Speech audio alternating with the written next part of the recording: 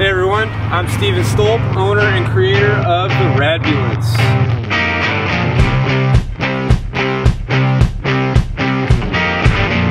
A good rig is not complete without a good captain's chair. It's all leather seating on the inside, um, done by yours truly. Also, we got an in-dash touchscreen player that has a backup camera, which is great when something this size backs up. It's good to see behind you. And um, I also kept some of the original ambulance controls and made them work. So if you need sirens, they're there. One thing I really like about these seats is you just fold up the armrest and then you just flip this lever, headrest collapse, goes down.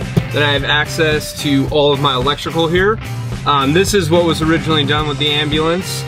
I wired in my 2000 watt inverter along with my MPPT solar controller hooked up to 200 watts of solar. This barrel switch is great. If you have any electrical problems whatsoever, you could isolate the batteries. So you just have one on, you could have both off, you could have number two on, or you could have both on. All right, moving on to this tall, skinny compartment. It's a shower, of course. So, pop this guy out, and then see you later. Boom! Just like that. I also have right here my propane canisters, and they hook up to this guy right here, which is the tankless water heater. And the shower head comes out right here, and you want to get in here, you can see there's a little window next to the shower head. That will show you what that's for later. Moving on to our shore connection. So right here we have 120 volt connection for shore power. So you can plug this in at a campground and it also has a battery charger on the inside so it'll charge your 12 volt batteries along with running the 120 circuit. You can just plug in a garden hose to the side of this thing and it bypasses the water tanks, the water pump, so you can run directly off a shore water connection. Next compartment up, uh, this is where we keep the water tanks. And basically, they're just six gallon tanks, and you just take this guy. And moving on over to the next one, I've never had an issue. And like I said, I've driven this thing and traveled in it quite a bit. Um, right here is our gray water tank, so you just kind of lift it up and you know, my water system is hooked up to a SeaFlo pump. Um, it is 3.4 gallons per minute, so it has better water pressure than most people's houses. Just tight. So this is my utility compartment. This is where, if I'm traveling, I'll have all my tools set up on this shelf.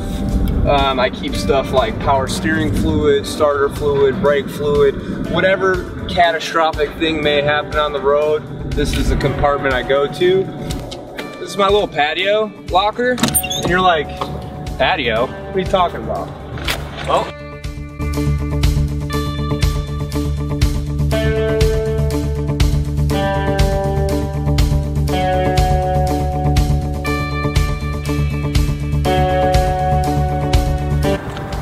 I brought two chairs for you if you want to come up with me.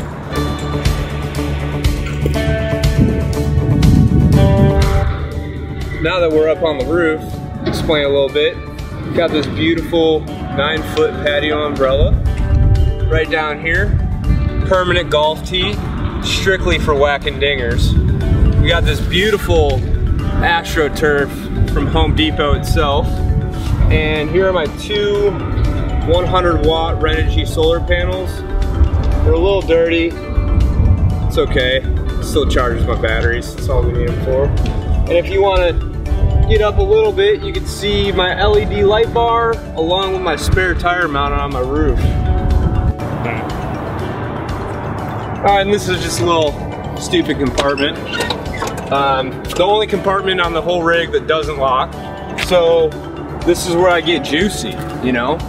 You just grab this 45. See, it is a 45. You just get it. You just get it. You're turning, you're burning. Okay, I'm done. Okay. I got these two Duracell Deep Cycle RV and Marine batteries. There's room under the hood for two more of these. However, I just have the two right now and it's been doing me just fine. It's a little feature I added. Right here we got the cooler refrigerator thing. Just open it up. You know, grab yourself a cold one if you want. All right, enough with the outside of this thing. I know y'all are all excited to see the inside, so let's come come on in. All right, here we are inside. Let's turn some lights on. Boom, okay. All right. So first things first, we got this beautiful kitchen here, stainless steel backsplash. No, this was not stock with the ambulance, so don't ask me. Right here, I wired in um, the suction pump for the original oxygen tanks into my water pump. So, boom, water pressure. I wired in some USB outlets right here. Plug your phone in, do whatever. My uh, GFCI outlet is right here, so it's got a little breaker on it for the 120. That is not on right now. I only turn that on if it's 100% necessary. We got the thermostat. Thermostat controls this gigantic blower that is AC and heater only when the engine's running. So, and remember when I explained the shower, that little secret window? Well, since we got hot water on demand, you can clean your dishes with hot water on demand. We got this nice partition right here that really keeps it cool in the back area, which is super rad.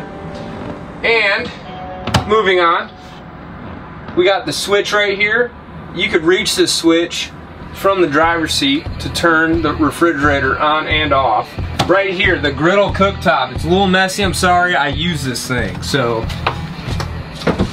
I have it set up like this because everybody has the burner stoves. I think the burner stoves are great if you're a camper and you're just going camping. However, in a van, cleaning dishes sucks. So when you have a griddle top, you don't gotta worry about cleaning dishes because half your dish is the top.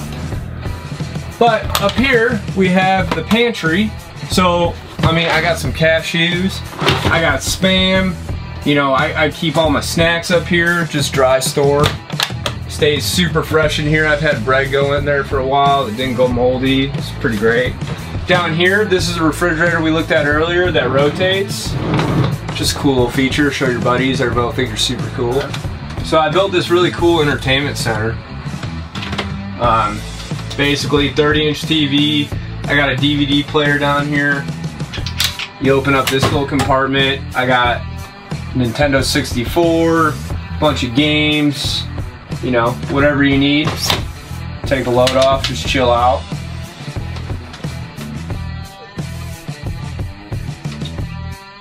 Right here is where I would keep my clothes when I travel, and these shelves are so deep, I fit my entire wardrobe in just this compartment alone.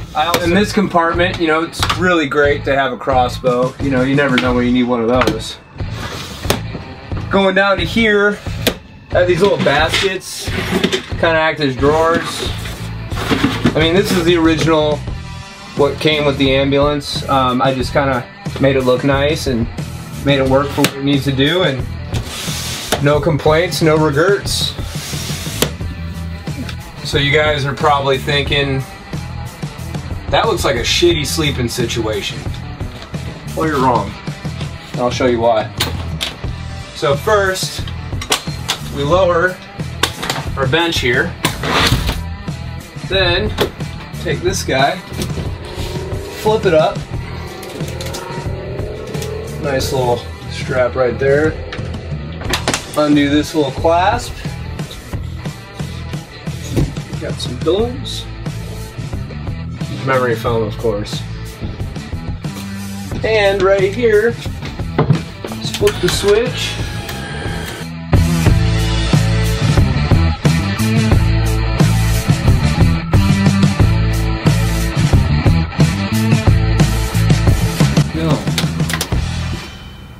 Now we can just hang out. Got a little mini bar if you feel like entertaining. You could draw whatever conclusions you want to draw, but you know, it's a good situation right here. And just as fast as it go goes down, goes right back up. So let me show you that real quick.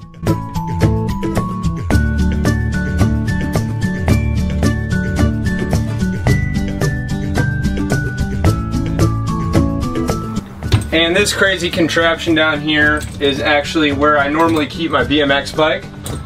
Um, not that I don't want to give you my life story, but I've ridden BMX my whole life. So my whole BMX bike connects to this bracket right here. So when I open and close the door, my BMX bike fits. And I know somebody's gonna ask me this, so I'm gonna nip it in the butt right now. I don't know if a mountain bike would fit on here.